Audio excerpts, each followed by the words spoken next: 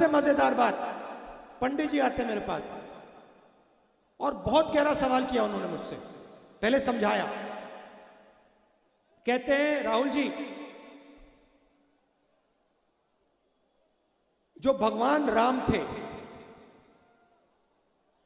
वो तपस्वी थे।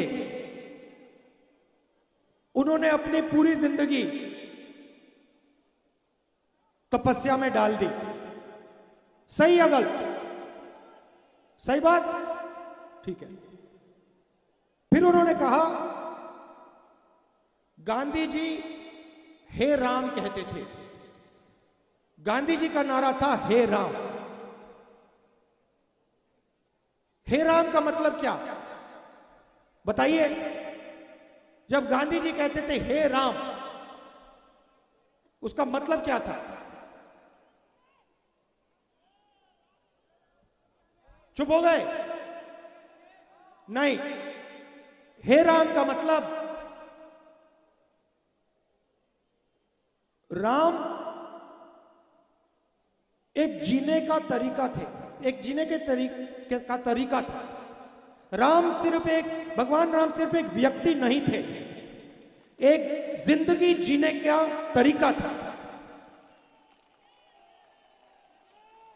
प्यार भाईचारा, इज़्ज़त, तपस्या। उन्होंने पूरी दुनिया को दिखाया, जीने का तरीका दिखाया। और गांधी जी जब हे राम कहते थे, उनका मतलब था, जो भगवान राम है, वो भावना हमारे दिल में है, और उसी भावना को लेकर हमें ज़िंदगी जीनी है। ये है हेरा दूसरा नारा, फिर उन्होंने कहा, देखिए, एक नारा हेरा सुनो सुनो डिस्टर्ब मत करो। एक नारा हेरा मतलब जिस प्रकार से भगवान राम ने अपनी ज़िंदगी जी, जो उन्होंने तपस्या किया, जो, की, जो उन्होंने समाज के लिए काम किया, जो उन्होंने प्यार फैलाया, भाईचारा फैलाया वैसे ही अपनी ज़िंदगी जीना। दूसरा नारा, जय सिया राम जय सिया राम अब जय सिया राम का मतलब क्या है? यह पंडित जी ने मुझे बताया सीखा हूँ मैं। यात्रा पे बहुत कुछ सीखा हूँ जय सिया राम का मतलब क्या है? दिग्विजय जी ताली बजा रहे हैं। जय सिया राम का मतलब जय सीता, जय राम। मतलब क्या? कि सीता और राम एक ही हैं।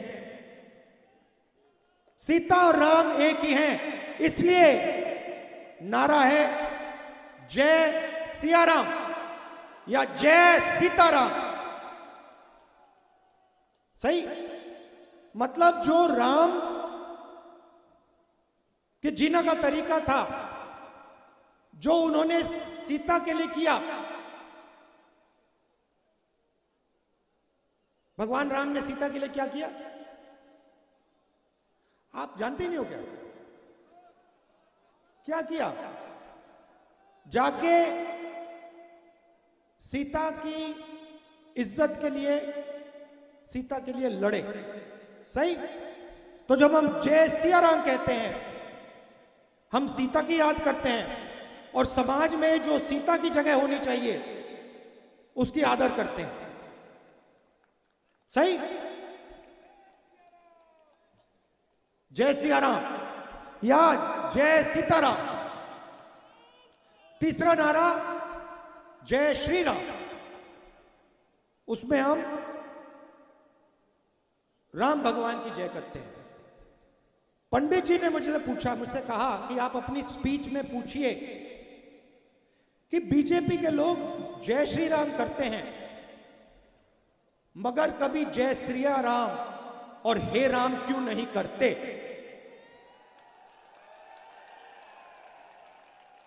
मुझे बहुत अच्छा लगा, बहुत गहरी बात बोली।